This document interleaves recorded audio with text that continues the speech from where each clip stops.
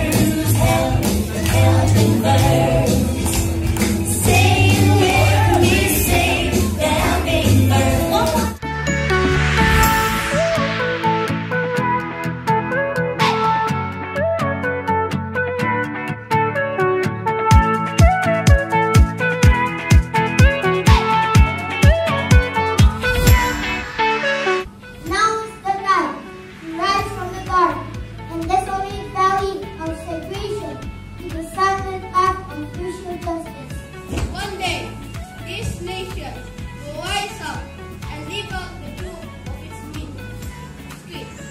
We hold this truth. I have a dream.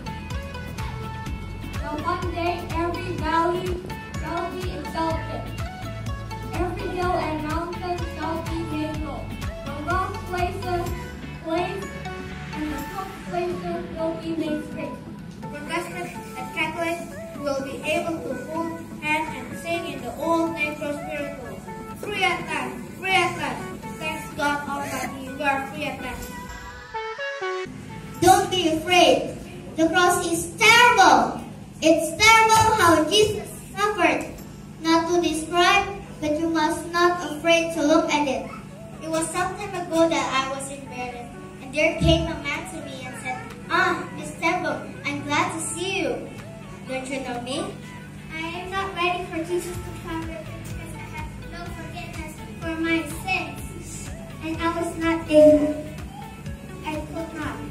I go on to take a sin. Thank you, Jesus, that you have brought to my given me. I want to talk about like when I started, you know, going to school stuff. A lot of people put me down. You know what I mean? Come up to you and say, Hey, fat, you fat, you fat, you fat. I'm going to jump off the table and do a back twist and land on the floor. Okay? Is that cool? Remember, do not try this at home. Alright. One, two. I'm joking, man. Are you serious? And I'll tell you, there are sometimes in life where you fall down and you don't have the strength to get back up. So you sort of put a mask on your face when you come to school and pretend that everything's okay, but it's actually not. And you go home and lay in your bed when no one's looking at you. And you don't have to impress anybody, and you are yourself. And that fear comes in. And I just want you to know that I found my strength in Jesus Christ, and you are going to find yours in whatever you find it in. It's not the end. It matters how you're gonna get up. I'm gonna get up strong and have the power to get back up like this.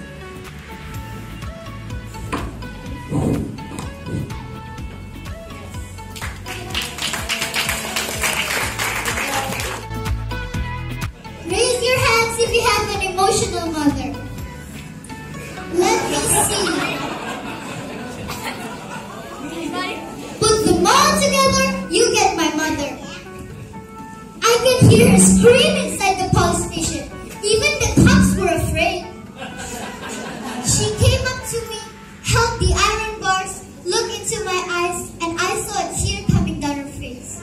Put them all together, you get my dad.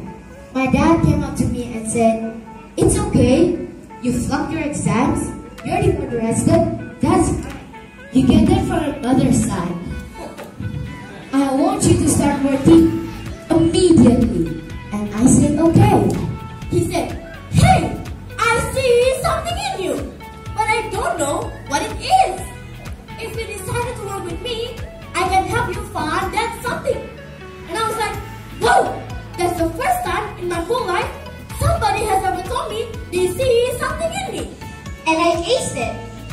While I was speaking, I see a man seated in it. Humble, simple, the unfailing quality of kindness. As soon as I finished, he walked up to me, looked at me dead straight in the eye, and said, Hey, I see something in you, but I don't know what it is. If you come here twice a month, we can find that something. Ladies and gentlemen, I'm a dreamer, I'm a I learned the unfailing quality of unconditional love from my husband. If it was up to me, I would have never been able to do that. That's fine. If you have great people in your life, no matter how broke, how lost, or how broken you become, they can piece you back together. Amen. Ladies and gentlemen, when I look at you, I see something in you.